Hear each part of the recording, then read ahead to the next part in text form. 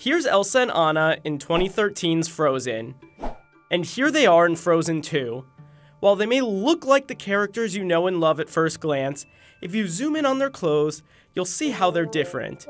In the update, you can now see three dimensional jewels, the stitching, and even the finest of threads. All these details wouldn't have been possible in the first film. Technological breakthroughs allowed them to do so much more for the sequel, even creating a horse completely out of water.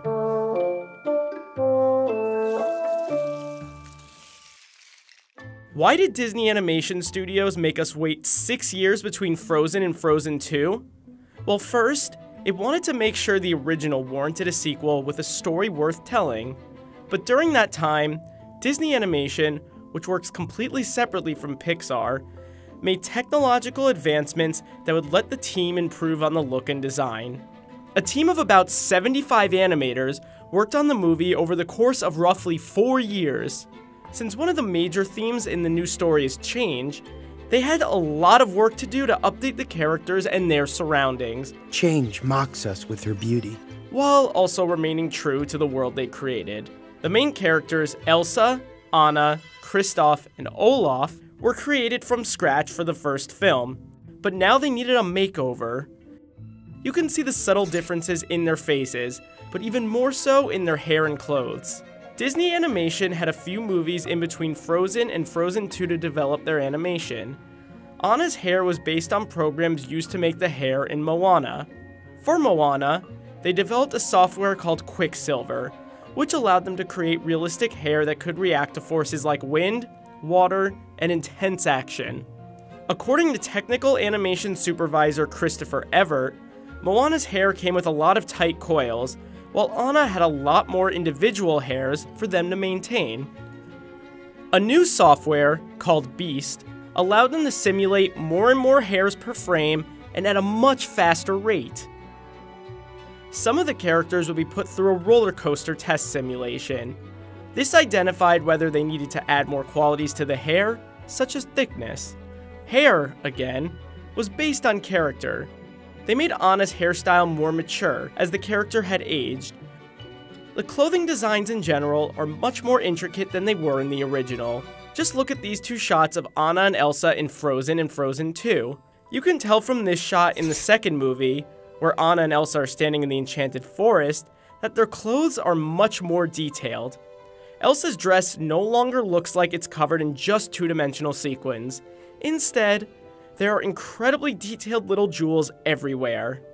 Meanwhile, you can now even see all the little stitching on Anna's cape. And in this shot, where Anna and Olaf are enjoying the warmer weather, you can really see every little thread in Anna's dress. While Elsa goes through some costume changes, animators made sure whatever she was wearing was part of a cool color palette. The animation team felt if they went too warm with the color choices, something would feel off, as certain colors become associated with certain characters. Movement was also an essential trait to get right. Getting an animated character to move is all about mastering control points. Every finger has three or four control points alone.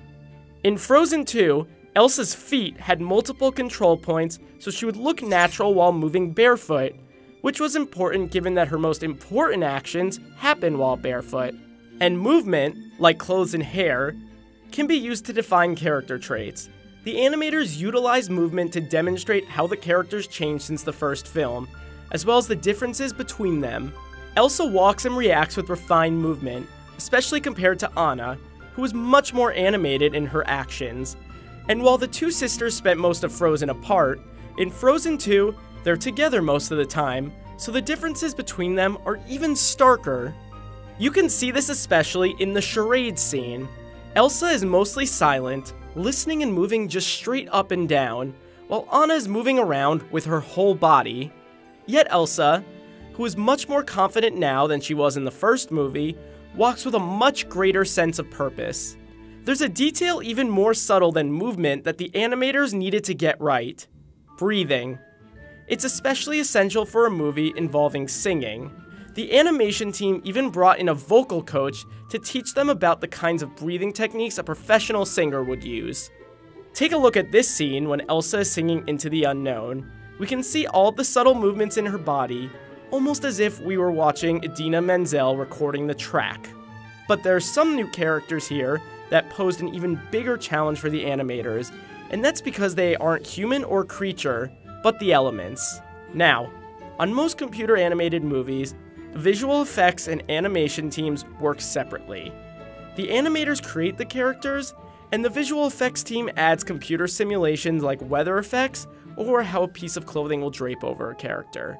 But what do you do when the effects are your characters? There is no better example of this than Gale, who's a gust of wind. Wind would usually be a visual effects simulation added in later on in the process, but here it's a character, so they had to create a new program for the animators just for this, called Swoop. Usually, you just see the end result of Wind, but this time we see it as a whole character. To get this basically invisible character right, a wind rig ran alongside given scenes, and they were able to manipulate its size and add simulations to this that helped determine Gale's speed and path. Here's Gale blowing into a house and pushing Sven out the door. Creating Gale also required working closely with the environments team on elements such as the leaves that get swept up by Gale. For instance, when Olaf is singing his When I Am Older solo, piles of leaves needed to be placed on the ground for Gale to pick up. At one point early in the design process, they contemplated having Gale take the form of the other characters, mimicking their shapes with debris.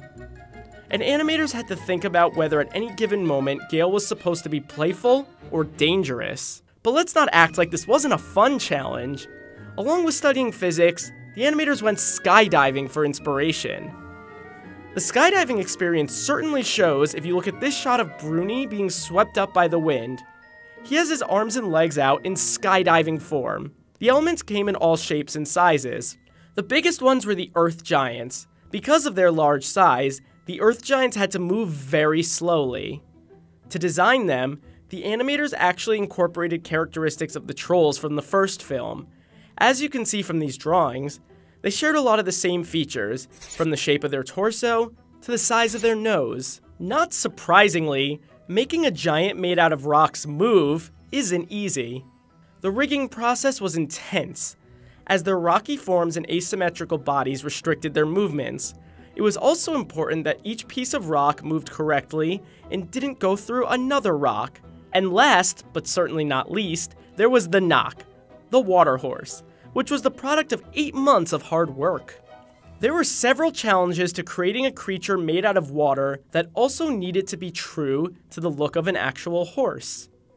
Because it has no pupils, or real eyes for that matter, it's a lot harder to convey the character's emotions, so the animators relied on the Nokk's ears. They made the ears point to wherever the Nokk was looking, while also conveying its mood. If the ears point back, the horse is angry. If the ears point to the rider, they respect the rider. But before the animators could control its emotions, they had to figure out how to control the water it's made of. While the water in Moana had some personality, it was nowhere near this complex. In early tests, there was way too much water coming off the mane and tail, which animators described as looking like a fire hydrant. They eventually controlled it to the point where it looked more like a gentle waterfall. The Nokk also had to look like it was part of the ocean, so they looked at elements of the actual ocean, like mist and spray, which forms at the end of the mane and tail as it moves. Staying true to the water form also required making the Nokk different from an actual horse in some ways, like the way it moved. When the Nokk is running on water, you can see the hooves sort of break and stretch, which is apparent if you slow down this clip of the Nokk running on a wave. To get a sense of actual horses, animators studied horse anatomy, met with a horse trainer, and actually rode horses. It was important not just to capture the look of horses, but the weight of them, so Elsa could really get a sense of this creature's power. While all the characters went through transformations, a lot changed in their world as well. In Frozen, much of the land is covered in snow, so the animators went to Cheyenne, Wyoming to walk through waist deep snow and see what it would be like for the characters. But in Frozen 2, it's supposed to be autumn, so the snow is melted. This presented new challenges. Since more of the ground and surroundings were revealed, There were a lot more details that needed to be included in each shot, particularly in a new setting for the movie, the Enchanted Forest. Every tree, rock, and plant required a lot of planning and work to get where it is. For inspiration, the team ventured to the wilderness of Norway, Iceland, and Finland to experience what the characters they were animating would be experiencing and to get inside their heads. While there, they studied the landscape and the culture and even stood on a glacier to see what it would be like for Elsa to stand on one. They also worked with a botanist to determine what trees and plants would realistically grow in the area. Just like Elsa's outfit, a crucial part of establishing this particular setting was nailing its color palette, which they wanted to be in line with the first movie. As you can see in this shot of the Enchanted Forest, the leaves are mostly orange and magenta. There's barely, if any, yellow, which is a color usually associated with fall. Compare that with this opening scene in Frozen, and you can see how similar they really are. Many of the shots in this forest were purposely shot extra wide to make the characters feel more alone and isolated. While much of the film takes place in new lands, Frozen 2 also revisits some familiar places, particularly Arendelle.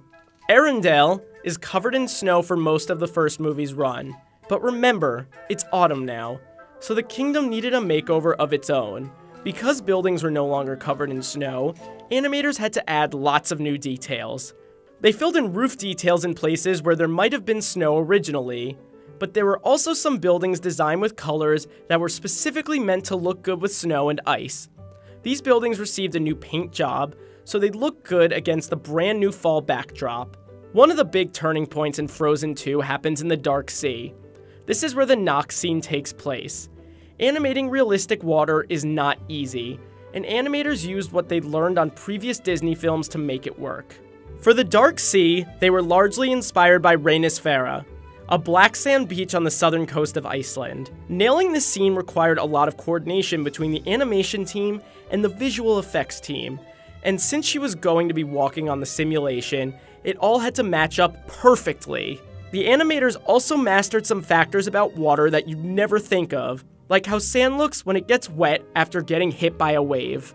Disney Animation developed another simulation engine for Moana called Splash, which gave them a lot of practice making the open seas. Through this, they could calculate, for example, what it would look like for a wave to break. For Moana, the challenge was trying to make the water calm, but for Frozen 2, it was important to make the waves big and overpowering while still seeming real. You can see those realistic waves directly here, as Elsa stares them down on the beach before running in head on. While these look incredibly realistic, the animators actually pulled back so they didn't look too real.